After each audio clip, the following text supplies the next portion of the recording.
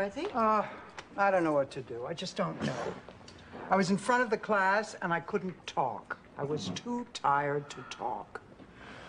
Not that they would have listened. They were too busy sniffing the whiteout they'd stolen from typing class. I had to excuse them early.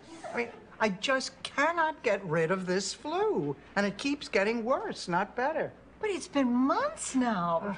Maybe it's not the flu. Flu doesn't last that long. You ought to go back to Dr. Raymond. I did, Blanche. He said I'm fine. Get a second opinion. She did. She went to Dr. Schlesinger.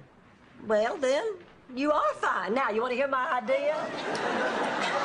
She is not fine, Blanche. Look at her. I didn't say she looks fine. I said she was fine. She looks like hell. Get her. Dorothy, you've got to see another doctor. Raymond is not a specialist. Yeah, but what kind of specialist do I need? Well, just call up Dr. Raymond and ask him. He'll, he'll refer you. You have to, honey. You're getting sicker and sicker. results and how to keep this gown closed. Don't worry about it. You won't be needing it. Dorothy, get dressed. You're fine. I beg your pardon? We've run every test known to man. They're all normal.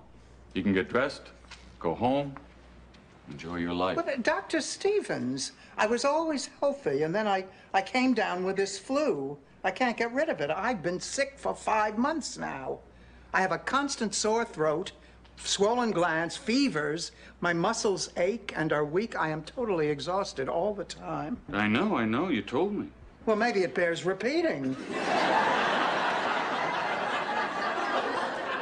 maybe you still think I'm Lorraine Mislansky. Look, uh, Dorothy, can I ask you a personal question? Yes? You're divorced. Yes. How's your um, social life? Do you uh, do you see men?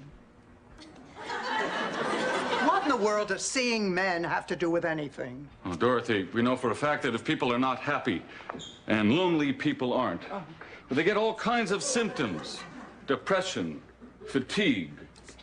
Symptoms very much like the ones you described. Look, uh, Dr. Stevens, I don't think you understand, so I'm going to tell you again. I am at a point now where I am so exhausted that sometimes I cannot speak. Literally, cannot speak. There are days when I can't get out of bed.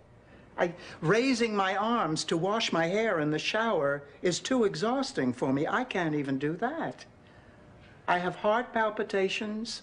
I can't concentrate. I forget things. I, I get confused.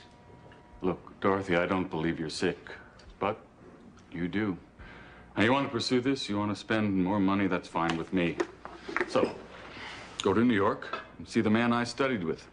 He's the best neurologist there is. I don't know anyone better. If you have anything, anything at all, he'll find it. Two and a half hours. I thought you died. What's wrong with you? Nothing. Who are you? I'm the doctor. We'll see about that. Uh, look, uh, Mrs. Uh, Trillo, I'm Dorothy's mother, and I want to know what's wrong with her. And don't tell me nothing because I know there's something wrong with her. Mothers know. Look, Ma, I'll talk to you about it later. your daughter is fine, Mrs. Petrillo. 100%? 100%. Tip top? Tip top. Then, Mr. 100% tip top. Why the hell does she feel like hell? Oh. Look, Ma. Wait, I gotta hear this. It could be functional, Functional? mental. Mental. Well, let me tell you something, Mr. 100% tip top mental. My daughter may be no spring chicken, and her jaw might crack when she chews. And she may have noticeable trouble digesting raw vegetables. But one thing she's not is mental. Thanks, Ma. Rose gets to go. Blanche, whenever I don't feel well, Rose makes me feel okay. What is she, your best friend? Rose knows I'm sick.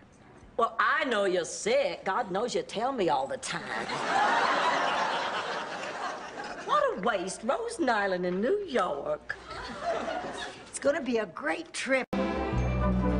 So, what are you doing here? You've seen everybody, nobody found anything wrong with you. And between their workups and mine, there are no more tests to run. Yeah, but I know Look, Mrs. I- Borner, your main complaint is you're tired. I get tired, too. It's called getting old. Dr. Bud, that's not what this is. I am sick. I've had to give up my job because I was too tired to do it. How'd you get here? I uh, flew. No, to my office. A taxi. And from the taxi? But how did I get from the taxi to your office? Not a hard question. I walked. Right, you walked. You're not sick, Dorothy. The people I see can't walk. They can't swallow. Some of them can't breathe. Look, don't take this the wrong way, but have you ever thought about seeing a psychiatrist? I have seen two. Here are their letters. They both say there is nothing psychologically wrong with me. They believe it is physical. What the hell do they know? Psychiatry is not a science. Then why did you suggest I see one? Because what you have is not scientific. What else was I going to do? Send you to New Mexico to a shaman? There's nothing wrong with you, Dorothy, except what happens to all of us. In case you haven't noticed, you're not 30. Take a cruise, Dorothy. Go to a hypnotist. Change your hair color. My wife became a blonde. She's a new woman.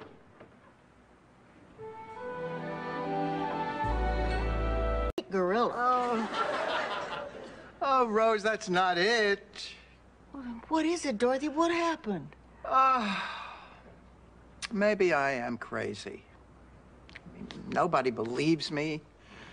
Everybody thinks I'm crazy. Maybe I am. Maybe I'm really crazy. Oh, Dorothy, you are not crazy. I mean, you are absolutely not crazy. I've seen the way you walk. I've seen how wiped out you get. You're not crazy, honey. You're sick. I think so, too. I really do. But nobody believes me. Doctors don't know everything, Dorothy. You're right. I mean, they think they do, but they don't. You're right. How is she? Wiped out and depressed, even though she tries to hide it. Sophia, she's gonna be okay. I know it. She will be, Sophia. Now, she's tough.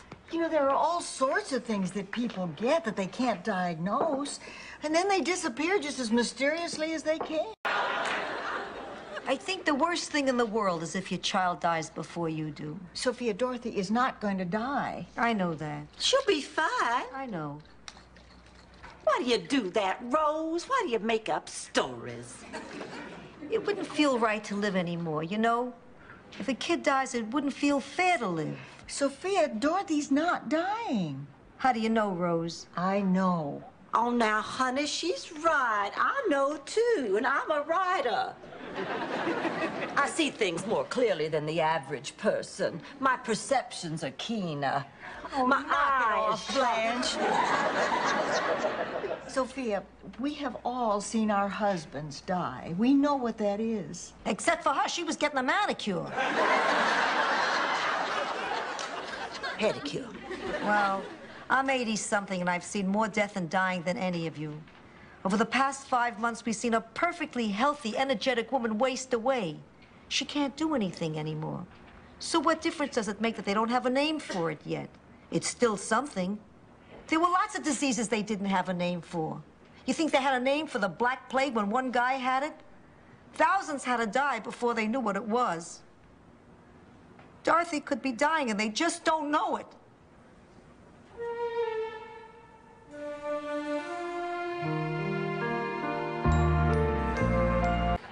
Well, as far as doctors go, you've certainly seen the best. The best don't exist anymore. The best are dead. Well, I don't know about Oh. that. You're the exception, Harry. I didn't mean you. So do you think I'm crazy, too? Dorothy, I think you're very sane. Just because a doctor hasn't found something doesn't mean there isn't something there. Are you serious? Well, how come you know that and they don't? First of all, dear, I know you. You're a stable person, and if you say you're sick, you probably are sick. Now, I want you to see uh, Michael Chang. He's a virologist on staff here at the hospital. You know, there are all kinds of diseases we didn't know about before. Look at Lyme disease. Harry, am I going to die? I'm afraid so. You really think so? Sooner or later, I guarantee it. Unless, of course, the Japanese come up with something. Here you go. Come on, here's his name and number. My God, what a hand. Oh, Dorothy, you look terrific. Where are you going? Oh, to see that specialist that Harry recommended? Wipe off your makeup. What? You look too healthy. Maybe that's why they don't believe you. You don't look sick.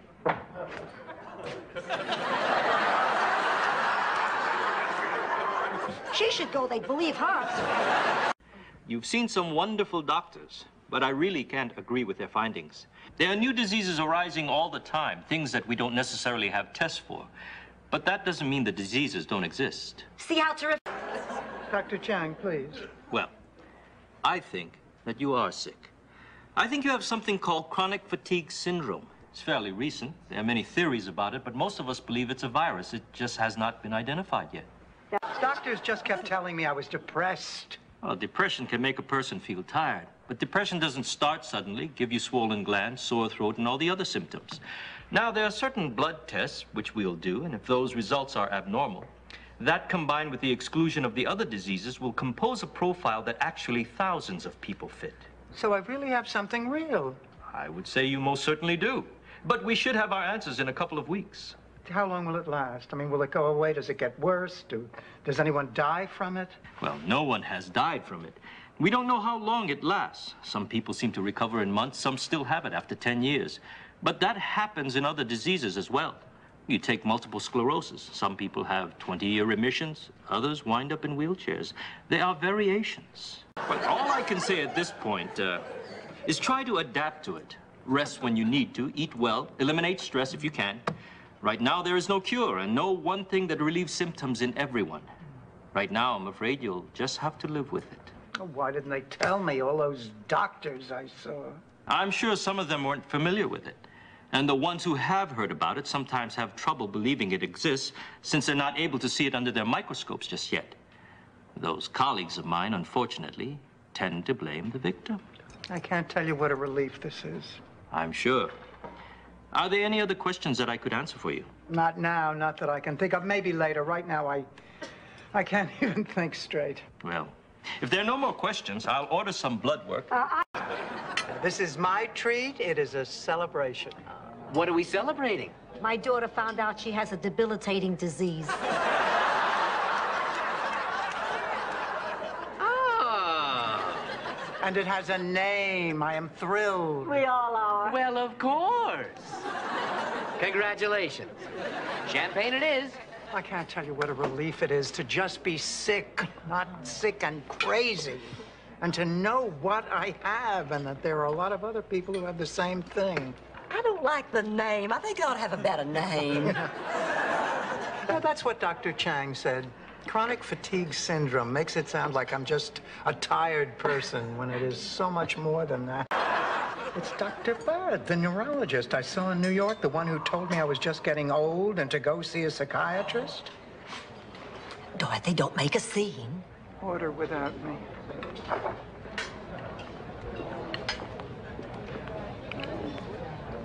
Dr. Bud, Yes.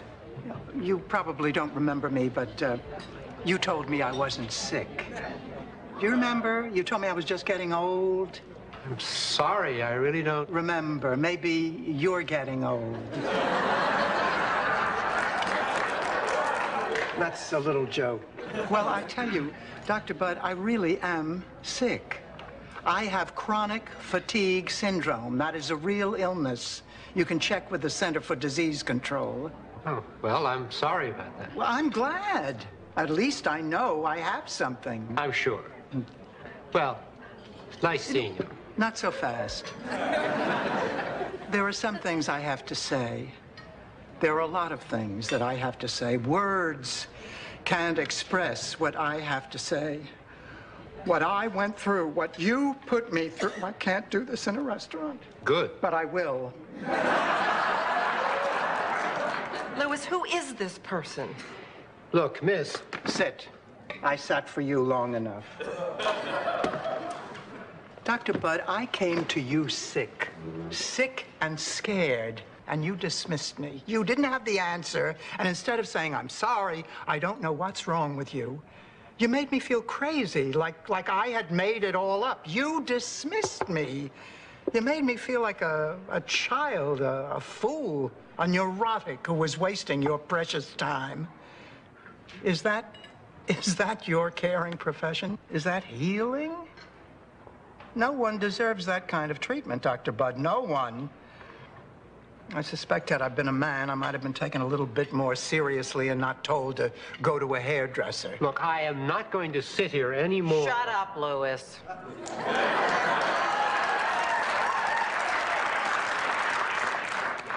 I don't know where you doctors lose your humanity, but you lose it. You know, if all of you at the beginning of your careers could get very sick and very scared for a while, you'd probably learn more from that than anything else. You'd better start listening to your patients. They need to be heard. They need caring. They need compassion. They need attending to. You know, someday, Dr. Bud, you're going to be on the other side of the table. And as angry as I am, and as angry as I always will be, I still wish you a better doctor than you were to me.